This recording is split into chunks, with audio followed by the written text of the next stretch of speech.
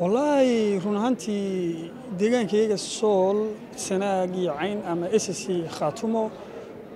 xilli aanu ka muuqanno muqdisho stadium waxaa noogu dambeysay saddex ilaa sano.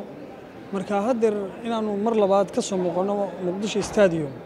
oo aan xuquuqdii dhallinyarada kale ee maamul goboleedyada soomaaliyeed ay lahayn aan dib u helno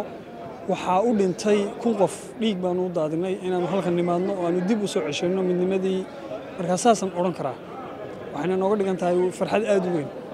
Wallaahi run ahaantii waxaan u mahad celinayaa madaxweynaha dowladda khaatum s c khaatumo cabdiqaadir axmed aw cali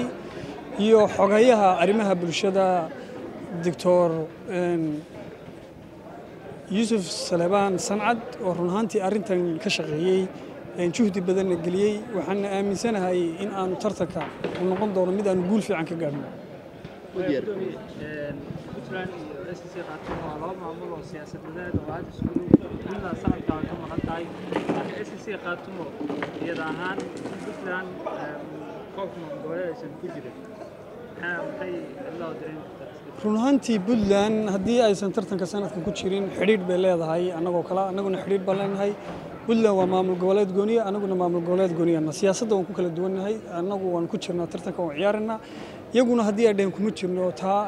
kama hadli karo. Iyaga ayaa xor u ah. Laakiinse annagu diyaargarow fiican baanu haddeer ku jirnaa macalinkii iyo ciyaartoydii waan diyaarsanaa waxaanuna rajaynaynaa inaanu si fiican aanu koobka meel wacan ka gaadhno taariikhiya maadaama ay tahay markii ugu horreysay aanu ka qayb galno.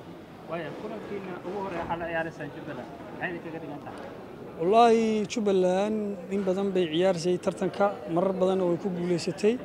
inaan jubbaland la ciyaarno ciyaarteeda koowaad waxay muujinaysaa in aanu awood fiican aanu soo bandhigno maadaama ay tahay xul in badan ka qaybgelaya marka marka aanu iyaga la ciyaarno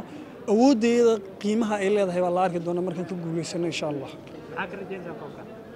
koobka? Waxaan ka rajaynaynaa u ciyaari mayno inaanu ka qayb galno laakiin waxaan u ciyaarnaa inaan ka guulaysano haddii alla idmo